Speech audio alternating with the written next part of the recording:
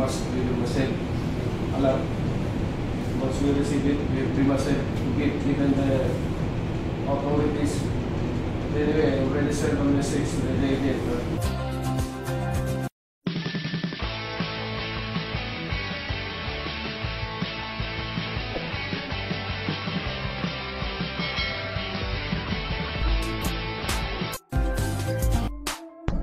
Hello everyone, this is your Captain's Media Chronicles. This is the second episode of my documentary about the coronavirus or COVID-19 and the risks which the seafarers are facing. The statistics of infected cases and death cases are continuously increasing. As of April 7, 2020, the coronavirus cases has reached to more than 1.3 million and the death cases are more than 74,000. It is very alarming. Despite of the actions of the governments of various countries in the world wherein they implemented the lockdown and self-quarantine. The United States of America is now topping the list of having the highest cases of infected people. And Italy remains with the highest cases of death. Many people are afraid. Yet, there are many people who are hard-headed who continuously defied the order of their national and local government for lockdown and self-quarantine. Until when this malady and pandemic will be stopped. Although there are many people who got infected but were able to recover. But the problem is the transmission. It is so fast. The numbers of infected people are increasing daily. It will be stopped only when the coronavirus will be totally contained and eradicated. But this is the problem.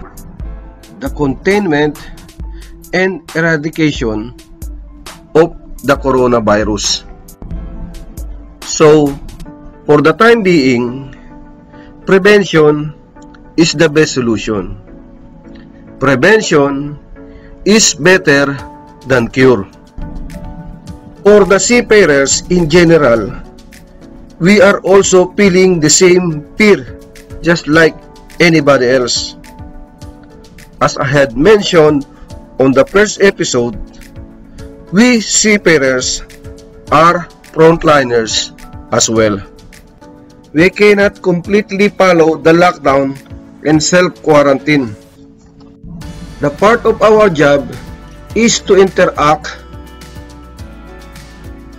physically with various people in the port such as the pilot, agents, port authorities, immigration officers, custom officers, stevedores, dock workers, and many more. So, we have to follow the procedures and measures which have been provided to us by our company to avoid on getting infected with the coronavirus which we need to implement and follow strictly especially on our case. Now we are heading to Houston, Texas we are very afraid One of the measures is by suspending the shore leave for all the crew. No one is allowed to leave the ship, even the captain or the master. The second safety measure is by limiting the visitors who are coming on board. As I had mentioned earlier, there are still many visitors who are required to come on board on our ship. We cannot totally implement a zero visitor policy. So at least we have to minimize the number of visitors. For this, we have our first line of defense, which is in the gangway or the stair, which is being used for coming on board to our ship. He is our gangway watch. He is the crew who is assigned on doing the work of a security guard in the entrance of any private or government properties. He is the first one who is interacting with the ship's visitors. So, he should wear and equip with full battle gear or protections. And his job is to take the body temperature of all the visitors who are required to come on board. In addition, he will require the visitors to disinfect their hands. Only then they will be allowed to come on board and proceed into the accommodation.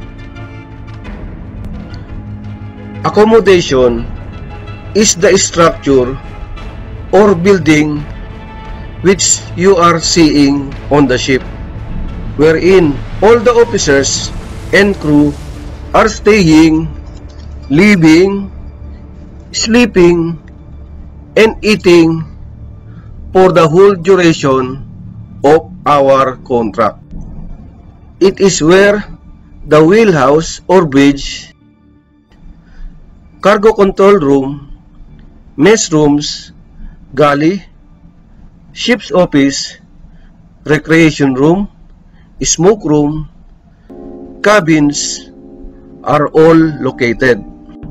Although we cannot implement a zero visitor policy on board, but I had implemented a zero visitor policy inside the accommodation.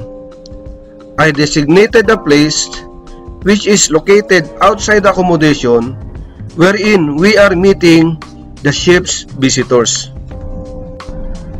All the ships, when they are arriving in port, it is required to be cleared by different authorities such as the immigration officers, custom officers, health or quarantine officers, the agent, etc. We are now meeting them in Suez cabin. It is having a bed bunk, toilet and showers. We had provided a refrigerator and electric thermos, snacks, beverage, coffee, etc. We are meeting them in pool battle gear. And for ourselves, we are taking a daily body temperature check two times a day, which we have to send to our office. The wearing of a mask is required for all the crew. We had provided disinfectants and hand sanitizers in all the public places inside the accommodation, such as the mess room, bridge, and public toilets. Everyone were advised to take care of their personal hygiene. Frequent cleaning and mopping with sanitizer and disinfectants, including the door handles, computer mouse, and other equipments. I also ordered the chief cook not to serve any uncooked food and fruits must be totally washed and be peeled off. During the pilotage or when the pilot is on board, we are also wearing our full battle gear and we are maintaining a social distance of as much as 2 meters. When the pilot are coming on board or disembarking, they were not using the stairs inside the accommodations. Instead, they will proceed to the bridge or wheelhouse using the stairs or ladders outside the accommodation. For the master or captain and the chief officer, handling and signing of important documents is a routine whenever the ship is in port. And these documents normally change hand for so many times. We are not sure if it had passed a hands of an infected person. So, I came up with an idea of using a hair dryer to disinfect the documents or papers. Since we cannot use a liquid disinfectant. Well, that's it everyone. To my fellow seafarers who are presently on board, please continue to take the extreme care of yourself. Of course, the same for all those who are ashore. Please do understand that the restrictions of sign off is for the benefit of everybody. Not only for yourself, but for your family and all our fellow people. Let us sacrifice for the meantime.